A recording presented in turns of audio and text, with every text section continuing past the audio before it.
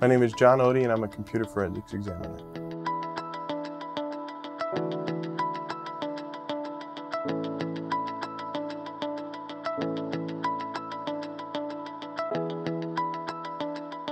So prior to AMP, um, you know, my background is in computer forensics.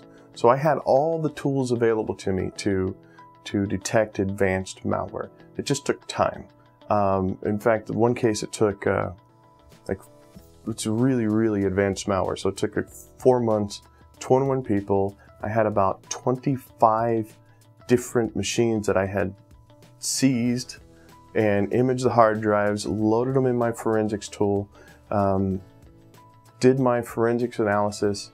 I, I must have spent like 16, it was 16 hours a day, seven days a week over the holiday season, malware season after Thanksgiving, after New Year's, malware season, as I like to call it. Uh, but I, I did that very intensive, very technical manual investigation and came up with the answer using using the tools. I, I, I did come up with the answer, but it took it took a lot of time, a lot of resources, and by the time I came up with the answer, it was like two weeks old.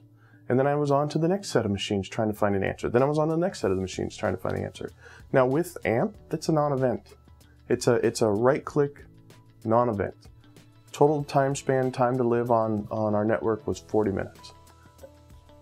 Now, the 40 minutes included going down to the cafeteria with a coworker, getting some biscuits and gravy, coming back up to work, and after having a second opinion, doing something about it, which was a right-click block.